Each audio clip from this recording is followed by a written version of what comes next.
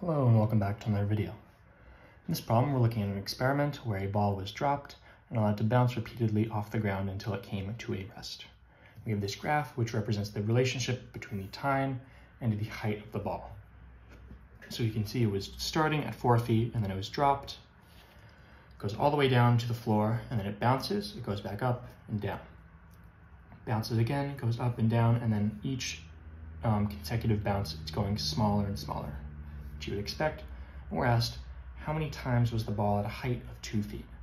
So if you look on our y-axis, the height, right, we see two feet is right here. So we draw a line, right, that going out from two feet, if the ball is crossing this line, that means at one point it was at a height of two feet. So it's coming down from four, and then it's coming down to three, and then it passes two right there, so it was at two feet right there. So we have one instance. And then it goes back up.